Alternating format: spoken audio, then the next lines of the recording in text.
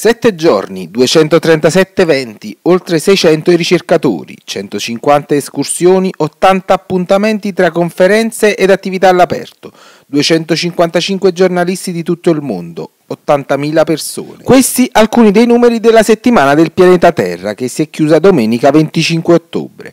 Una kermesse senza precedenti creata da due ricercatori italiani, Rodolfo Coccioni dell'Università di Urbino e Silvio Seno dell'Università di Pavia.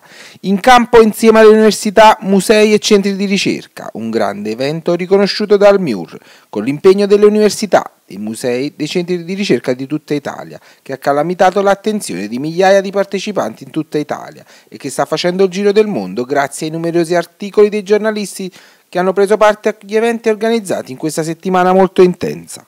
Tra le tappe della Kermesse spicca Somma Vesuviana, protagonista dell'area vesuviana con una serie di eventi, visite e passeggiate lungo i sentieri del monte Somma Vesuvio, fino alla splendida Villa Augustea che ha incantato i visitatori e i numerosi rappresentanti della stampa di tutto il mondo. Circa 40 le testate giornalistiche provenienti da almeno 40 paesi dagli Stati Uniti, Sud America, Europa, Russia e Asia Minore che hanno preso parte alla giornata di sabato 24 ottobre. Appuntamento alle ore 10 presso il sito archeologico in via Starza della Regina, dove ad accoglierli, oltre al responsabile dell'ufficio stampa dell'evento Giuseppe Ragosta, i ragazzi del Forum Giovani, volontari della Protezione Civile della Proloco e vigili urbani, c'era il sindaco di Somma Vesuviana Pasquale Piccolo, che ha annunciato l'idea di realizzare a Somma un museo archeologico che possa ospitare i reperti della Villa Augustea. Porto i saluti della cittadinanza intera, certamente questo è un posto per noi che è un fiore all'occhiello. Noi stiamo, ringraziamo i giapponesi i quali sono circa da 12 anni si sono dedicati a questo scavo con, eh, con, con impegno, con fermezza e magari impegnando anche i loro soldi perché noi come contributo stiamo dando ben poco. Noi eh, l'importanza che noi diamo a questo, a questo, luogo più che altro è un'importanza che vorremmo rivalutare il nostro territorio tenendo presente che questo territorio è alle, è alle falde del Vesuvio, ragione per cui ha una vocazione agricola quindi possiamo incentivare secondo me anche questo, questo, questo indirizzo. Insomma. Certamente, eh, come diceva poco fa eh, Giuseppe Ragossa, la nostra ambizione è quella che tutti questi reperti archeologici che vengono fuori vengano conservati in loco, ragione per cui sarà nostra intenzione, non so fra, fra quanto tempo, insomma, di poter realizzare addirittura un museo archeologico in modo da rendere più visibile questa cosa. La vostra presenza qui stamattina certamente per noi sarà una vetrina bellissima perché un giorno in cui questo sito avrà raggiunto la sua autonomia sicuramente potrà essere inserito in un circuito, in un circuito nazionale, turistico. Con il sindaco piccolo di Somma Vesuviana, sindaco, oggi è un evento molto importante per questa cittadina vesuviana. Certo, è un evento veramente importantissimo a livello nazionale e internazionale, infatti pare che qui ci sia una delegazione di testate giornalistiche nazionali ed internazionali. Io ringrazio Giuseppe Ragusso, il quale si è prodigato tanto perché questa cosa avvenisse a Somma. E certamente insomma, eh, per noi questo è un motivo di vanto e un motivo di orgoglio perché attraverso questo sito, questa tappa che noi abbiamo fatto qui assumeremo a livello nazionale, quindi nostra, il, nostro, il, nostro, paese viene proiettato in una realtà molto più grande. Il Vesuvio deve essere fonte di ispirazione e di guadagno anche per gli altri paesi vesuviani, quindi bisogna fare un insieme per cercare di sfruttare al meglio questa potenzialità che, che i paesi vesuviani hanno. Eh, noi abbiamo fondato molto, devo dire la verità, sul, sul parco, l'ente parco nazionale del Vesuvio. Fino adesso purtroppo le nostre aspettative non è che sono state esaudite, ci auguriamo che in un futuro prossimo qualcosa di più si possa muovere, si possa realizzare qualcosa magari di concerto con tutti quanti gli altri. Prima parlava di museo, è possibile eh, a Somma instaurare un museo magari in qualche immobile già presente? Infatti una delle vocazioni che noi riteniamo che sia legittima per il castello è quella di creare all'interno un museo, magari adibendo un paio di stanze a questa, a questa attività perché con i reperti che noi ritroviamo qui è possibile insomma, farlo. Grazie mille e complimenti. Grazie. Il saluto del primo cittadino sommese è stato seguito dagli interventi dei due ricercatori, professor Seno e professor Coccioni, organizzatori dell'evento, che hanno deciso di inserire Somma Vesuviana nel circuito della settimana del pianeta Terra. Dati delle 70-80 mila presenze nazionali lo, lo, penso che lo, lo raggiungeremo. Eh, cosa possiamo ancora dire di questo, di questo posto? È chiaro che qui possiamo vedere molto nettamente l'interazione di un pericolo naturale, che è quello del vulcano, con una edificazione.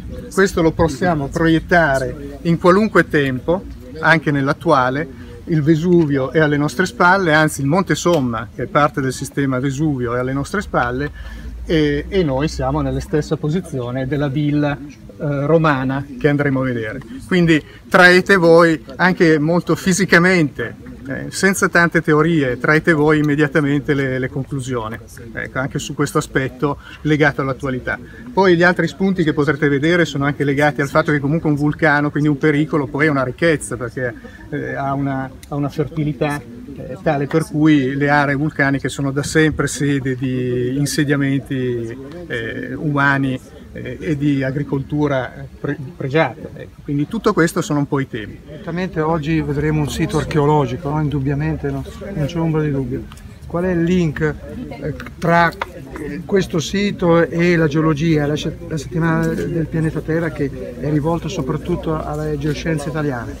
E che naturalmente questo sito e la sua storia è collegata direttamente a, a, al vulcano, quello che abbiamo praticamente al, alle nostre spalle, cioè il complesso vulcanico eh, Somma Vesuvio, che esiste, che ha esplicato la sua attività eh, già da 400.000 anni, quindi è un, è un, vulcano, una serie di vulcani, diciamo così, che sono già, già collaudati. Eh, pensate che negli ultimi 25.000 anni ci sono state almeno 22-23 grandi eruzioni, no? non tutte come quelle che hanno ovviamente portato all'istruzione del Corano di Pompei, che conosciamo meglio nel 79 d.C., ma anche altre che sicuramente hanno avuto un'energia spaventosa. Volevo sprecare un attimo un, un po' di attenzione su questo, è un ricordo se volete, non è una commemorazione, però oggi è il 24 ottobre del, del 2015 ovviamente. Ecco, eh, nella stessa data, all'incirca fra due ore circa, poco più di due ore, quell'oggetto là, che non era proprio così nel 2000 anni fa, eh, comincia a dare i suoi segni di attività, eh, a riprendere la sua attività, che porterà poi alla distruzione di Ercolano e Pompei, come dicevo. Oggi, secondo le ultime ipotesi, eh, per chi uh, frequenta o legge libri di Angela eh, avrà visto anche probabilmente l'altra sera in, da Vespa, eccetera. Quindi questa è l'ultima ipotesi, ce la dà come 24 ottobre, era un venerdì, eh, non sappiamo se c'era la luna, insomma, però era quel giorno. Quindi alle 1, alle 13, praticamente da quell'oggetto là si alza una nube, una nuvola, chiamiamola così, a forma di pino, che poi si alzerà, pensate, fino a quasi 30-40 km di altezza e nel giro di 20 ore nel giro di 20 ore Ercolano e Pompei non esisteranno più. Quindi noi stasera faremo festa, certamente, ma prendiamola come l'ultima festa per ricordare questo. Però eh, la mia conclusione è questa. Questo oggetto, questi vulcani che esistono non solo qua, ma in Italia sono già diffusi anche in altre aree, sicuramente hanno, hanno, portano distruzione eh, questo è evidente, però portano anche rigenerazione perché distruggono la bellezza, distruggono Pompei, Ercolano, come vedrete distruggeranno anche questa villa, eh, eh, la seppelliranno sotto metri e metri di sedimenti, e quattro secoli dopo circa. Eh, eh. Però diciamo, c'è questa rigenerazione, quindi la, la, la, bellezza si rigenera di nuovo, come diceva anche il professor Seno, si rigenera probabilmente anche ricchezza perché il suolo diventa più fertile, è, è più semplice produrre, eccetera, eccetera. Quindi eh, dobbiamo convivere con questi elementi e guardare anche alla loro bellezza, oltre al messaggio distruttivo che ci portano. Quindi guarderemo oggi il, il Vesuvio sia come un oggetto geologico, diciamo, chiamiamolo così, fa parte del nostro pianeta, ma anche come un oggetto che può rigenerare bellezza. Siamo il professor Seno dell'Università di Pavia, responsabile della Settimana della Terra. Professore Somma rientra nel circuito de della Settimana della Terra, è un evento importante per questa cittadina piccola del Vesuviano. Assolutamente sì, eh, Somma rientra in uno dei 237 eventi che dalla Valle d'Aosta alla Sicilia fanno parte della Settimana del pianeta Terra. E abbiamo scelto Somma perché, perché, come ha detto lei, è un piccolo centro vicino dei grandi altri posti dove il turismo è già consolidato, l'area vesuviana è piena di questi. Abbiamo scelto Somma proprio perché è nello spirito del pianeta Terra, cioè valorizzare degli oggetti preziosi nel territorio che però non sono alla portata di tutti, bisogna andarseli a cercare. È un po' come aprire una stanza di casa bella, ma che non è aperta tutti i giorni. Quindi eh, noi per questo abbiamo grande piacere di essere qui a Somma e di valorizzare quello che a Somma di bello c'è. Il Vesuvio quanto arricchisce queste zone? E le ha arricchite tantissimo nel passato, le arricchisce ancora oggi con... Eh, Beh, con il turismo questa è la cosa più, più, ovvia, le potrebbe ancora arricchire anche con diciamo, l'utilizzo magari in modo sicuro di energia da sottosuolo, per esempio. Oggi è il 24 ottobre, prima il suo collega ricordava che c'è stata l'eruzione del 79. Lei è geologo, possiamo dormire sonni tranquilli? Beh, diciamo che è un po' banale dirlo, ma rispetto al 79 qualche passo in più la scienza l'ha fatto, quindi il sistema Vesuvio e i Campi Flegrei sono uno dei più studiati, più conosciuti, più monitorati al mondo tra i sistemi vulcanici, quindi tutto quello che fa parte dei segni che, premonitori rispetto ad un evento eh, esplosivo, distruttivo come potrebbe essere quello del, del 79 del 24 del 79 oggi avremmo la possibilità di, di cogliere questi, questi elementi di allerta in anticipo. Grazie mille. Grazie a voi col professor Rodolfo Coccioni dell'Università di Urbino per uh, la settimana della Terra a Somma Vesuviana in, uh, in, questo sito che per Somma Vesuviana rappresenta molto.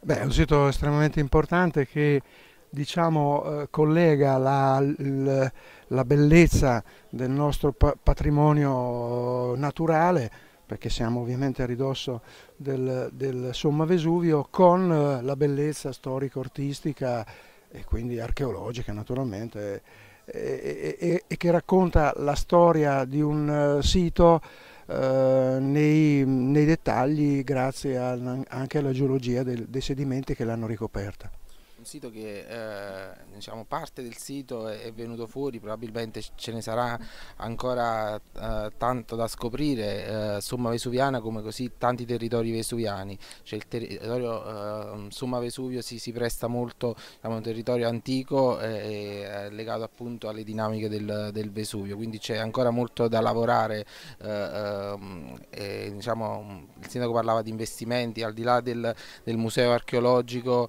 eh, questo è una terra che ha molte risorse. Ma assolutamente sì, ehm, sicuramente al di sotto dei nostri piedi ci saranno tante altre ricchezze da scoprire e naturalmente bisogna anche investire di più su questo senz'altro, su, su queste ricchezze, su questo patrimonio che abbiamo nel nostro paese. Potrebbe essere eh, magari anche questa l'occasione di rientrare all'interno di, eh, di, ambiti come, importanti come quello della settimana della terra, eh, potrebbe essere anche un modo per eh, far capire alla gente l'importanza di questo territorio. No? Tanti giornalisti oggi qui a Somma Vesuviana da tutto il mondo, forse anche eh, a volte eh, le persone non, non, si rendono conto del, del patrimonio, no? potrebbe essere questo. Sì, guardi, uno degli obiettivi della settimana del pianeta Terra è proprio quello di far riscoprire e valorizzare il patrimonio naturale che abbiamo nel nostro paese, che è diversificato, no? abbiamo dai vulcani alle isole, eh, ai laghi, ai fiumi, abbiamo di tutto nel nostro paese. E, e, e, mm, la settimana del pianeta Terra, questa iniziativa cerca proprio di far riscoprire anche le bellezze che abbiamo magari vicino a casa, a due passi da casa e non lo sappiamo perché non le conosciamo perfettamente. Grazie mille, allora buona passeggiata. Grazie, grazie, buon lavoro.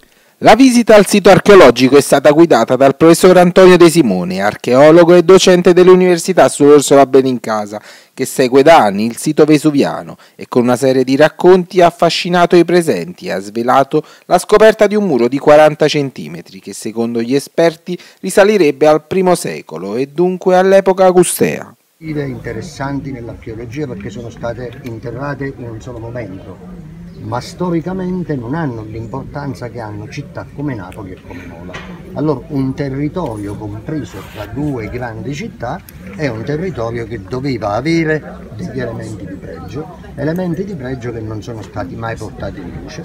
Pertanto noi ritenemmo, creando già allora nel 2001 l'anno precedente allo scavo, perché lo scavo è cominciato poi ufficialmente nel 2002, abbiamo creato questa sorta di convenzione, di, di, di, accordo quadro, di documento di intenti tra il comune di Somma Vesuviano che eh, rappresenta l'interesse eh, dei cittadini a valorizzare il territorio, l'Università di Tokyo e come Università Napoletana il suo rosso la bene in casa al quale io appartengo.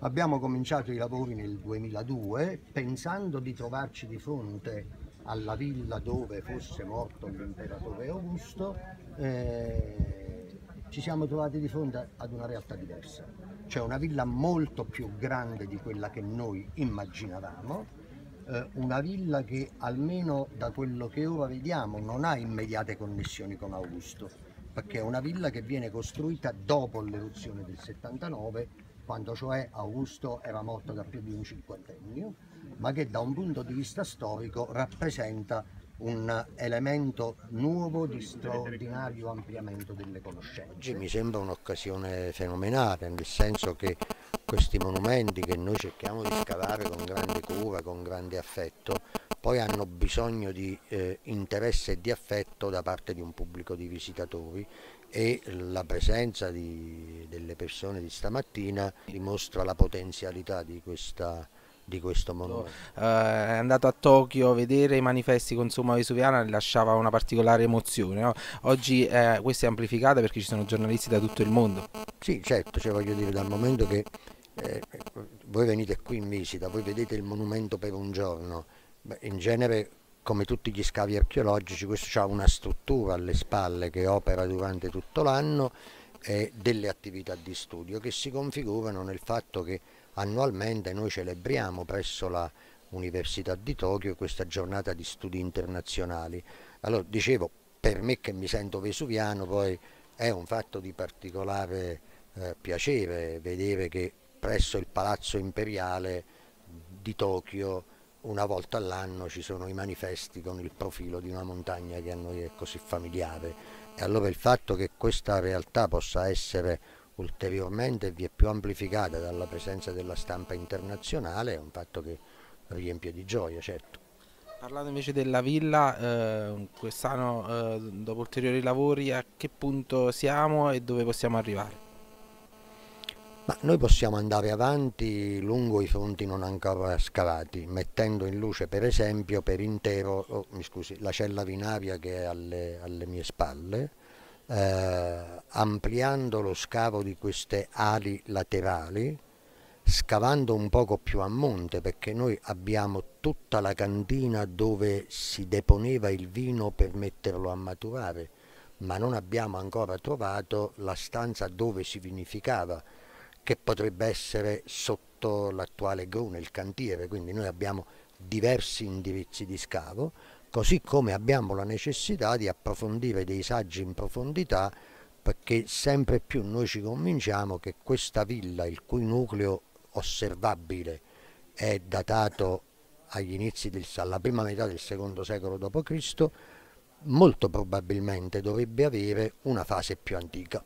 Quest'anno pare che qualche traccia noi l'abbiamo trovata, non ne parla non perché è un elemento che uno vuole tenere nascosto, ma perché sono dei segnali che hanno bisogno di una decrittazione che è affidata più eh, allo specialista che al grosso pubblico, cioè se uno dice ah guarda qui c'è il muro più antico, lei mi può rispondere ma che cavolo mi stai facendo vedere, cioè, diventa una realtà per, per, voi poco significativa, ma per noi significa tanto. Aver rintracciato in ambito, in, nell'ambito di questo monumento, al di sotto dei piani pavimentali, segni di strutture che comunque presentano un orizzonte cronologico più antico di questo.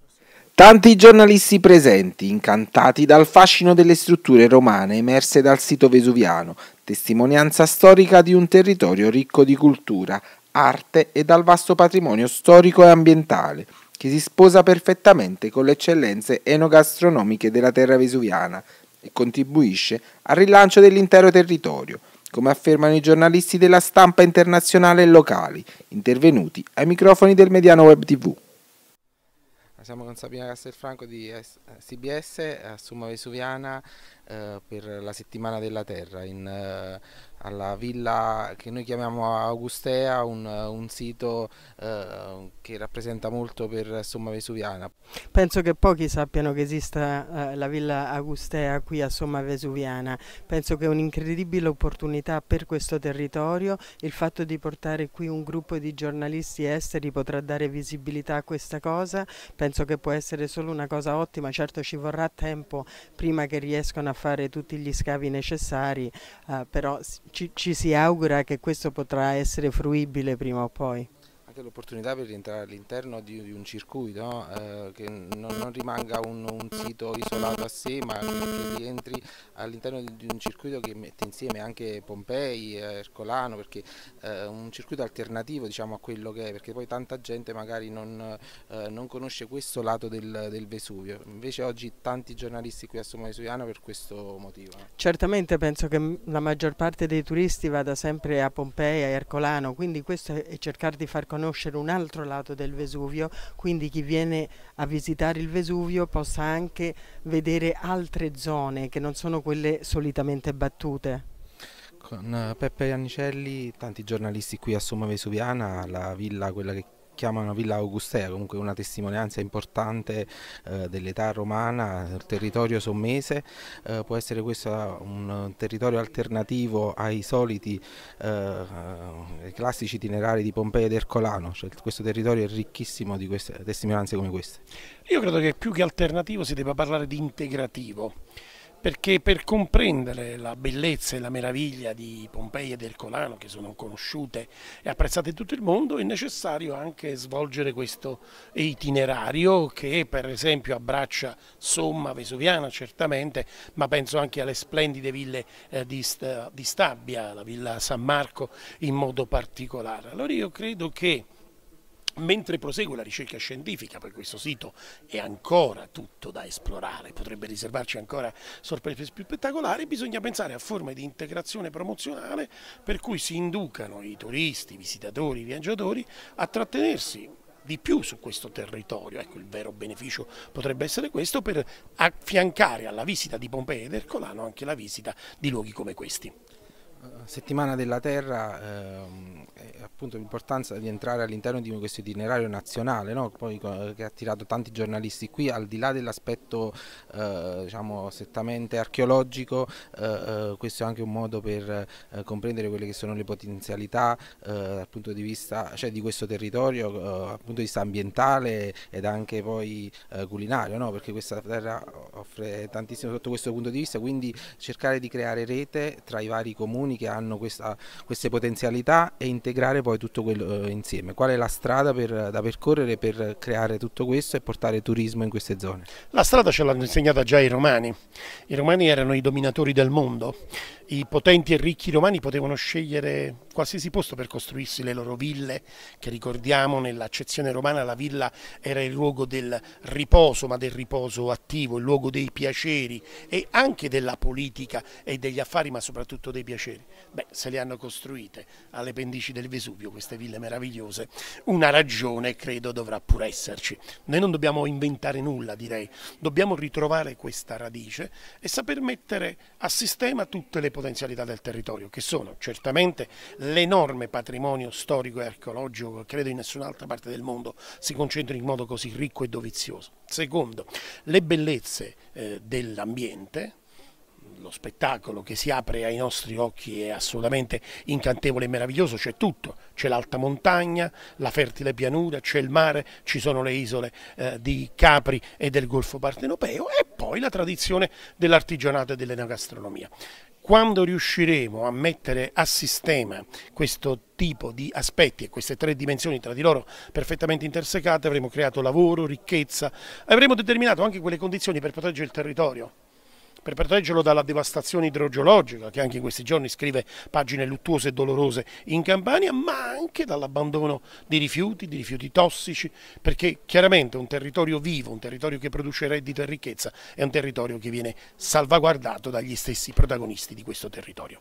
Grazie mille. La visita poi è proseguita sul territorio vesuviano e dopo una tappa dedicata alle eccellenze enogastronomiche della terra sommese, che ha visto i giornalisti affascinati dal baccalà, lo stoccafisso, la catalanesca e il pomodorino del Piennolo, raccontati dal ristoratore Luigi Russo, dopo una splendida passeggiata lungo il Vesuvio e il Monte Somma, in serate le musiche splendidamente interpretate dal vivo, le danze e i testi curati dal maestro Angelo Parisi, artista internazionale, hanno dato la possibilità di far rivivere il sito di notte, con un gioco di luci accompagnato dalla voce narrante, che ha descritto perfettamente la villa e la sua storia. Una giornata fantastica per Somma Vesuviana e il suo territorio, che ha chiuso nel migliore dei modi la settimana del pianeta Terra, decretando di fatto le potenzialità e la forza del territorio vesuviano in Italia e nel mondo.